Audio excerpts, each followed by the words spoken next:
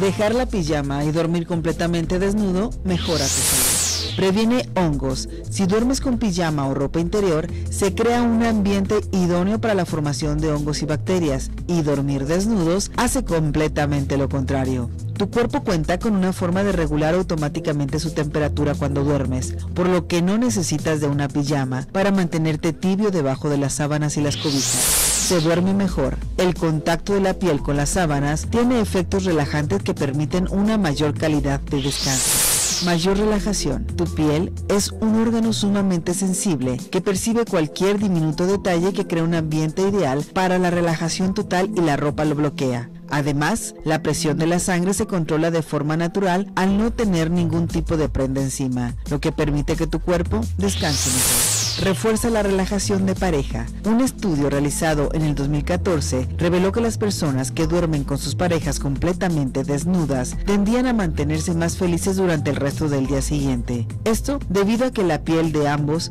se acostumbra una a la otra durante el sueño. Breves a tu salud. Esto es Zona Saludable. Iniciamos.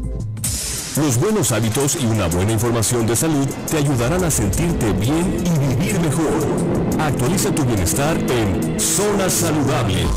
Causas, tratamientos, prevención y noticias. Iniciamos. Hola, ¿qué tal? Muy buenos días, tengan todos ustedes. El tema de hoy en Zona Saludable, bueno, pues escuche usted bien porque necesitamos lluvia de ideas cómo afecta la comida chatarra al organismo. No estoy diciendo, o sea, la pregunta es cómo afecta, no si afecta, o sea, es un hecho de que sí nos afecta la comida chatarra al organismo, llamada también, pues a lo mejor eh, comida chatarra no muy sana, no muy, este, propicia para nuestra salud, yo diría nociva para nuestra salud, pues es el tema de hoy porque la comida chatarra en exceso, pues nos va a llevar a serios problemas de salud. Así que, ¿qué les parece si iniciamos nuestro programa? Antes de esto, les voy a dar los teléfonos en cabina, que son los 3122-4200, 3122-4266. Nos pueden seguir a través del Twitter, arroba zona 3 noticias. Y recuerde que tenemos nuestro WhatsApp 3318 80 76 41. Esta mañana nos acompañan dos, dos autoridades de lo que tiene que ver con la nutrición, así que nos encantaría que también ustedes compartieran eh, si toman o no toman este comida chatarra. Yo creo que todos, cuando menos una vez al día, tendríamos que confesarnos. Yo cuando menos que me encanta el cine. este, yo creo que sí. Entonces, bueno, yo me voy a presentar, voy a empezar a presentar a la licenciada en nutrición de la Secretaría de Salud Jalisco, Sigrid Pimentel Martín. ¿Qué tal? ¿Cómo estás? Muy buenos días. Muy buenos días, muchas gracias. Oye, muy guapa y muy delgada, ¿eh? Se me hace que tú no eres de las mías de la comida chatarra. sí lo soy, tengo que, confesarlo. Tendríamos que confesarlo, ¿no? Y bueno, pues aquí a mi derecha tengo al licenciado en nutrición, educador en diabetes, maestro en nutrición clínica, Eder Rodríguez López, que esta mañana nos acompañas del Centro Médico Nacional de Occidente, del Instituto Mexicano de Seguro Social. Ok, muchísimas gracias eh, por tu invitación y bueno, gracias a tu público. No, pues gracias a ustedes. Fíjate que les comentaba que a mí me encanta ir al cine.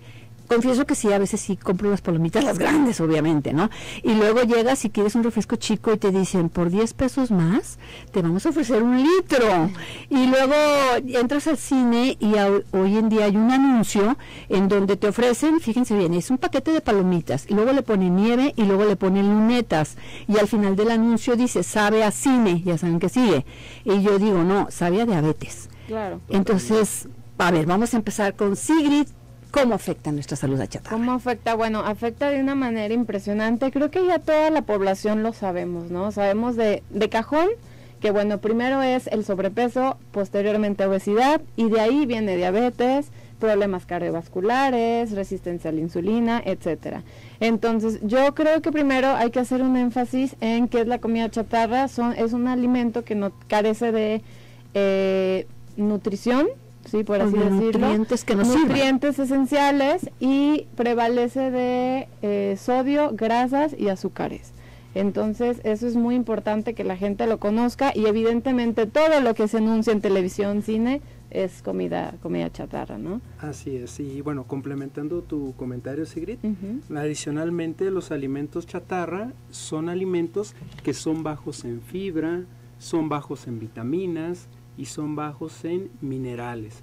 algunos ejemplos que probablemente nuestros radioescuchas eh, consumen de manera ocasional o en algunas ocasiones un poquito más frecuente, podemos encontrar las hamburguesas, las papas fritas, eh, las frituras en general que venden en estas bolsas metálicas, eh, alimentos fritos como tal en su preparación y bueno, la, famosa comida rápida o fast food que incluye pues este, los hot dogs, no sé, las pizzas y bebidas azucaradas como refrescos, jugos, dulces, pasteles, helados en general que bueno, de repente son pecados pues eh, a veces frecuentes de, de nuestro radio escuchas y, en ocasiones incluso de nosotros. O sea, ya casi me haces llorar, ¿eh? Me voy a quitar todo eso, todo lo que nos gusta. Desgraciadamente lo que nos gusta no es lo que nos hace saludables. ¿Cuáles serían, Sigrid, las repercusiones que tiene el abuso? Yo, yo quiero llamar más bien el abuso, porque a lo mejor yo de vez en cuando me doy el lujo y me como un pequeño pastel,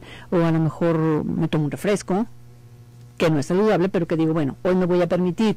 Eh, entonces me gustaría que hablaras un poquito de las repercusiones que tienen en la salud. Hay una infinidad, no me dejará mentir eh, mi compañero. eh, por ejemplo, hay complicaciones de desarrollo, ¿sí? si yo no estoy ingiriendo los nutrientes adecuados, evidentemente no me voy a poder desarrollar o en el caso de un niño que ahorita estamos, bueno, tenemos números realmente alarmantes, uno de cada tres niños padece sobre, sobrepeso u obesidad y siete de cada diez adultos. Entonces, enfocándonos ahorita en los niños, vamos a tener un problema increíble de desarrollo, ¿sí? En este, en este sentido también, hablando también de adolescentes, en el caso de la concentración, hay estudios que demuestran que la alimentación se asocia también con el déficit de atención, ¿sí? Eh, los niños que, consumen demasiada comida chatarra, eh, la comida chatarra, también contiene muchos eh, aditivos, etcétera, que eso nos permite también a los, a los adolescentes tener este tipo de problemas, ¿no? Psicológicos a veces. Eh, la obesidad también ya la comentamos, enfermedades cardiovasculares también, ya, ya la dijimos. Por cierto, Sigrid, perdón que te interrumpa, hablando de enfermedades cardiovasculares, hoy es el Día Mundial del Corazón y por ahí los chicos acá de Zona 3 pusieron que nada más este tienes un corazón, así que cuídalo. Y por eso dije, mira, ¿qué tal el, tema ad hoc? Y bueno, este no sé si quieres agregar algo más. Sí, eh, bueno para comenzar el, consumo constante de comida chatarra o alimentos de alta cantidad energética o de muchas calorías, eh, antes de la diabetes y de eh, algún otro problema, generan una situación clínica que se llama resistencia a la insulina. La resistencia a la insulina es todo un tema porque es el factor que se sabe detona en una buena medida el sobrepeso y la obesidad eh, también eh, se relaciona directamente con el aumento de triglicéridos en sangre. Y bueno, y otra serie de factores, ¿qué te parece? Porque sí es todo un tema, ¿no? La resistencia a la insulina para que explique, regresando del corte en forma pues muy accesible a todos nuestros radioescuchas de qué se trata esta resistencia a la insulina, que es de los hallazgos ¿no? de más recientes que se han visto por no comer bien. Y bueno, pues tenemos que hacer una pausa comercial. Voy a saludar efusivamente a Omar Machaín, que está ahí en controles, también en los teléfonos Fanny Olvera, como asistente de producción Abraham Mendoza y nuestra productora Laura Mora. Le recordamos que tenemos a su disposición el teléfono en cabina 3122 4200 3122 4266. Si usted gusta hacer una pregunta directa a nuestros invitados, pues ahí está la oportunidad. Y también se puede comunicar a través de nuestro WhatsApp 33 18 80 76 41.